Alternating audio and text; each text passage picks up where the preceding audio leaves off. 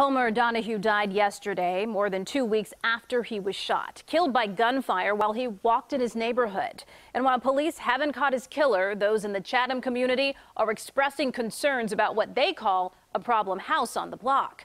CBS 2's Jim Williams is in the neighborhood where there is a big police presence tonight. Jim. A big police presence, Erica. They're doing a roll call down the block we are here at 82nd and Wentworth. This is where Homer Donehue was shot. He died yesterday. And neighbors say there's a troubled house down the block and investigators are taking a look. Jesse Roseburg says he and Homer Donehue often talked for hours here at the corner of 82nd and Wentworth. A father figure, Roseburg calls Donehue. He knew everything. He knew about politics. Hmm. He knew about the streets. He knew everything. Everyone you talk to here in West Chatham has the same description of Donehue, which is why they are so shaken by his murder. Police say it appears two people walking behind Donehue were the intended targets.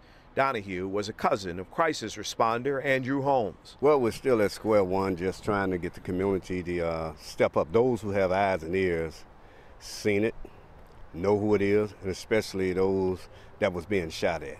Investigators are looking into the possibility that occupants of a house in the 8200 block of South Wentworth might have some connection to the shooting. Police say they cannot reveal any more other than they did go to the home. Neighbors tell us the home has been trouble with young people making noise and hanging out in front at all hours of the night. A woman told us off camera that she was the owner but insisted there were no problems. City records show a 78 year old man owns the house. He did not return our calls. Homer Donehue died Sunday, two weeks after he was shot. I've been holding back, fighting back tears, but it is tough. Community leaders plan to meet with Alderman Howard Brookins and police in a way to, in a hope to prevent crime in this community of longtime residents and well maintained homes.